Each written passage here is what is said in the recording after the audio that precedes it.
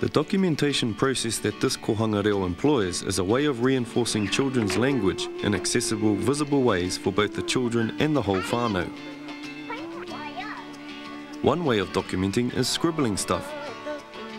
Kayako often note down developments they see in children so they can inform whānau.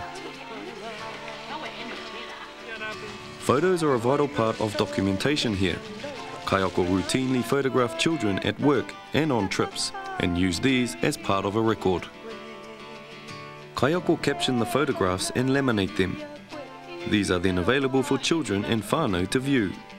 For children, this kind of documentation provides opportunities to revisit kaupapa, reinforcing language that is known.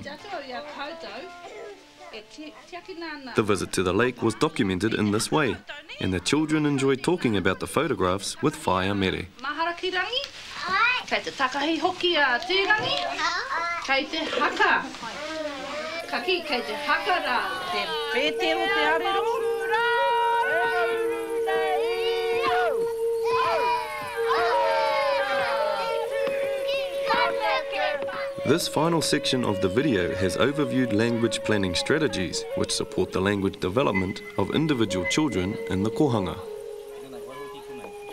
This video has been about the regeneration of te reo Māori, that of bringing te reo Māori back into the vernacular for young children,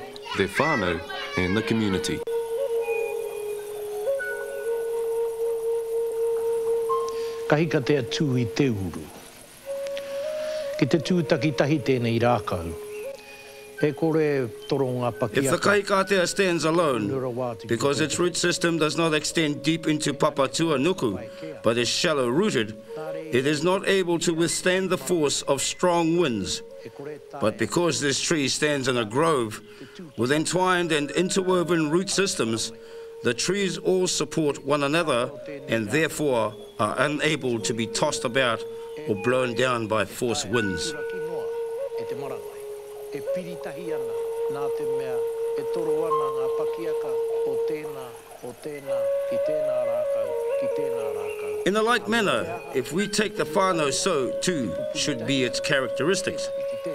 If the whānau is not working together in a supportive fashion, then the divisions within the whānau can become so great that its members flounder. That is to say, no person is an island unto themselves.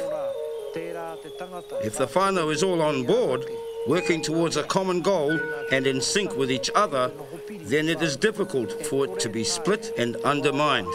It will have an inner strength, enabling its capacity building and to be a thriving enterprise in today's global village.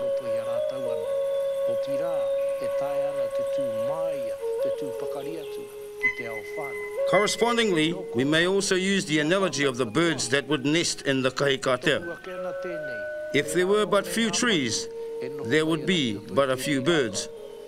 However, living as they do in the grove, we have not just one or two single birds, but gatherings or flocks, and we have not just a lone chime in the wilderness, but chorus. E te iwi, e te e whānau. E Let us be forever like the Kaikatea Grove, steadfast and committed. Should we lose our language, then like the Kaikatea standing alone, our time would be at hand and extinction inevitable. Therefore, if we are united in thought and committed to the cause of Māori language, then we must think in this manner,